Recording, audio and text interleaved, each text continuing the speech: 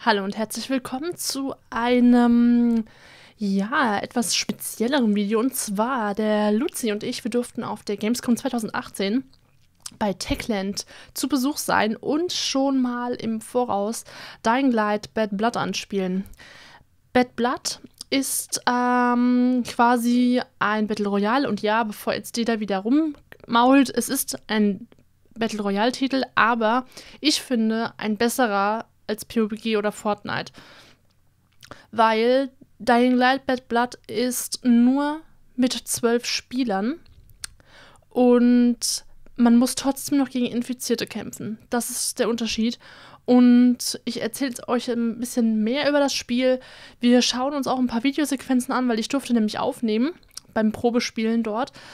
Und da währenddessen wir das anschauen, erkläre ich so das ein oder andere zum Spiel. Also, bis gleich. So, da geht's auch schon los. Wir spielen, oder wir durften nur den normalen Modus spielen.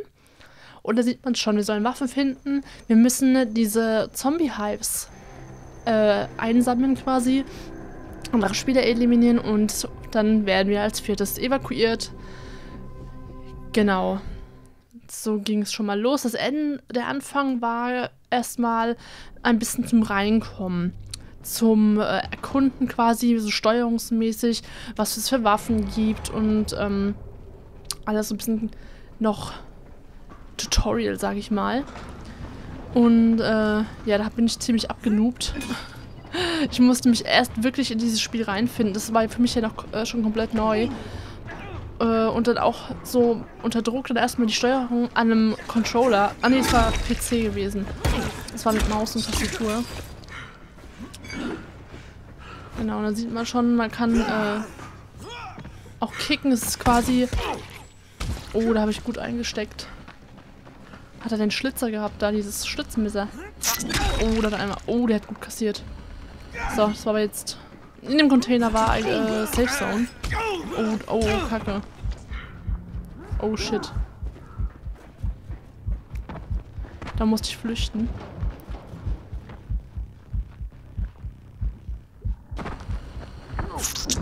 Schön zerfleischt. Dann wurde ich zerfleischt. Und da startet schon die zweite Runde. So, diesmal habe ich das stylische Melonenschlitzermesser gefunden.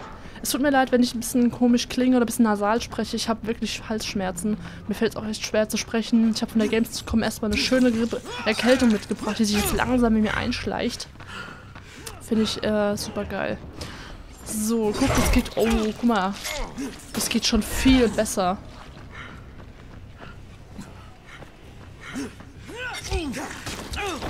Wow. Da habe ich sogar auch schon äh, in der Runde meinen ersten Kill gemacht. Uhu. Da war ich ziemlich glücklich. Und der war eigentlich nur auf K, keine Ahnung, hat Steuerung angeguckt. Das war sein Verhängnis. Oder das wurde ihm zu Verhängnis, besser gesagt. Ja, nochmal schön Kicken üben. Äh, das waren jetzt erstmal nur so ein paar Trainingsrunden. Also äh, nach der Runde, hier ist noch der Countdown. So, und jetzt geht's richtig los. Jetzt kommt... Da hat auch schon einen Helikopter. Jetzt kommt die, die richtige Runde.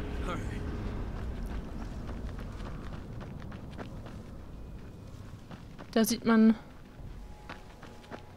eigentlich gut, was das Spiel so kann. Es ist wirklich, es spielt sich eigentlich genauso wie Dying Light. Äh, nur einfach im Battle Royale Modus.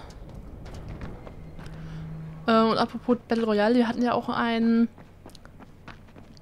ein Interview mit Daisy und dann habe ich auch eine lustige Frage gestellt. Bezüglich eines Battle Royale. seht ihr aber dann im Interview. Im Video, falls es nicht schon draußen ist. Aber ich glaube nicht. So, dann sieht man schon, die Zombies haben geile Waffensounds zum alles angreifen. Bam! Rüber weg. So, jetzt muss ich, äh, sieht man ja oben rechts, ähm, die Aufgaben. Also wir müssen auf jeden Fall diese Hives, diese Zombie-Stöcke, muss man äh, aufsammeln. Oh, da haben wir was Dickes. das war eine äh, Regular Hive. Ähm, der war für mich als Spieler, als neuer Spieler viel zu schwer. Ich wusste gar nicht, wie ich diesen dicken Brocken da aushebeln sollte. Mhm, mhm. Bam. Dann habe ich jetzt irgendwie mal was gesucht. Hier, da waren übel, übelst nice Waffen. Was ich mich noch frage, das habe ich vergessen zu fragen, ob es auch Schusswaffen gibt überhaupt. Bis jetzt habe ich nur Melee-Waffen gesehen, also Schwerter, Hämmer, äh, Äxte, Sicheln, was weiß ich.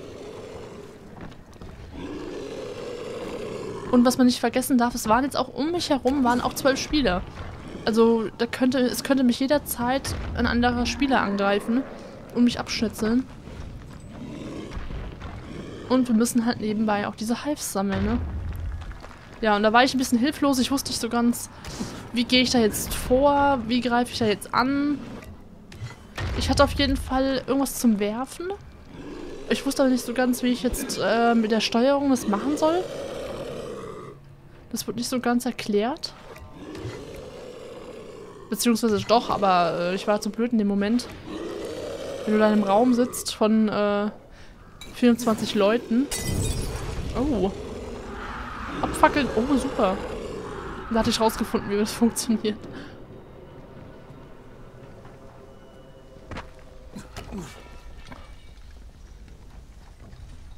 Ja, jetzt fehlt nur noch der Dickmops.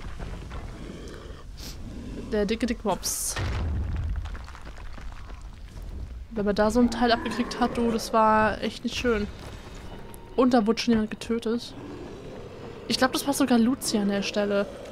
Ich habe auf jeden Fall länger überlebt als Luzi.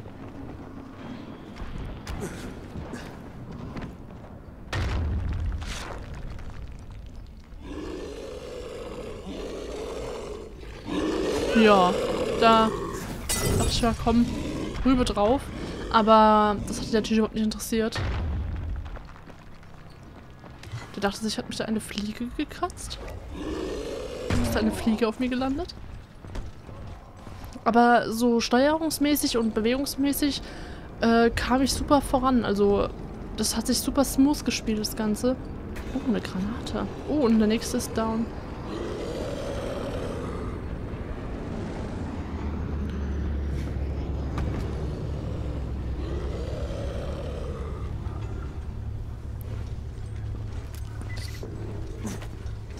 Das war leider verämt. Da habe ich einfach jetzt versucht, direkt reinzugehen. Die Sau, aber es hat nichts gebracht. Der war viel zu stark für mich und irgendwann habe ich dann gesagt, glaube ich, ich, ich ab. Einmal habe ich es noch probiert. Und dann weg. Weg damit. Aber er hatte schon ein bisschen Schaden eingesteckt. Ah, da hätte ich weiter rumlaufen sollen. Aber ich habe dann gesagt, nee, das ist mir jetzt nicht wert. Ich äh, hau ab. Was ich auch nicht wusste, wie man sich heilt so. Bam, habe ich die Schelle kassiert. Oh, da war ich fast down. Ich musste wirklich weg schnell. Ja, da wusste ich nicht mich. Da wusste ich wirklich nicht, wie ich mich heilen konnte. Oder ob es da irgendwie Medikits gibt, keine Ahnung. Ja, dann habe ich jetzt gedacht, komm. Läufst du mal weiter.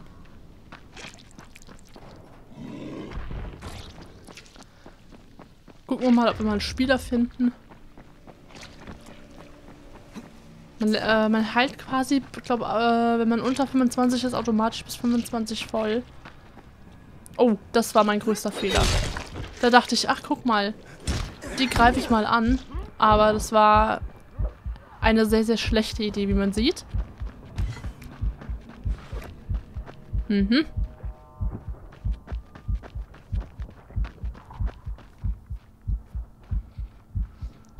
Mal gucken, ob es Klein Kali noch schafft.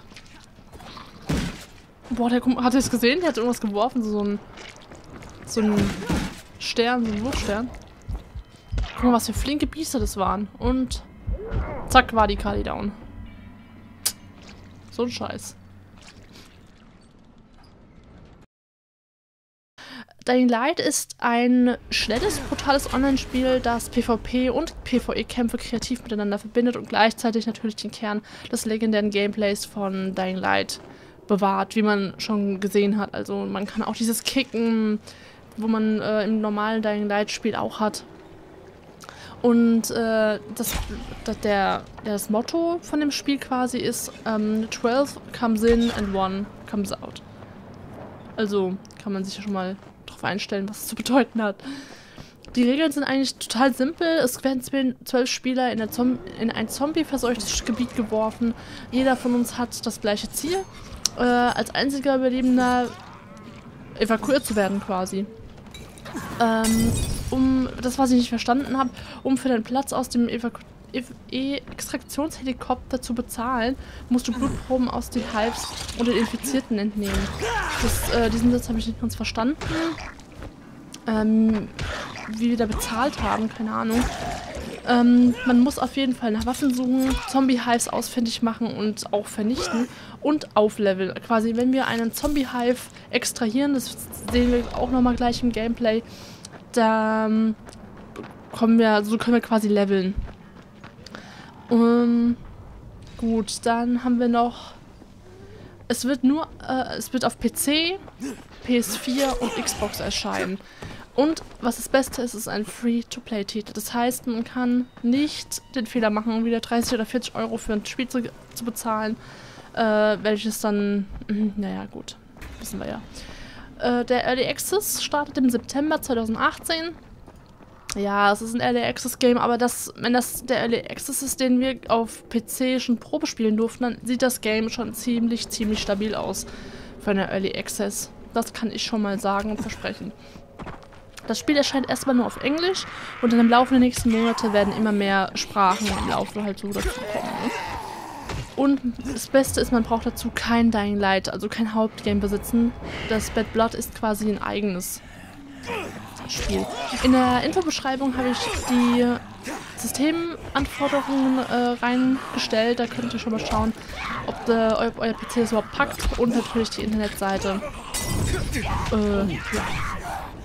Sonst eigentlich bei Fragen einfach in die Kommentare schreiben. Und dann sehen wir uns jetzt den unser, unser Dingens, ne?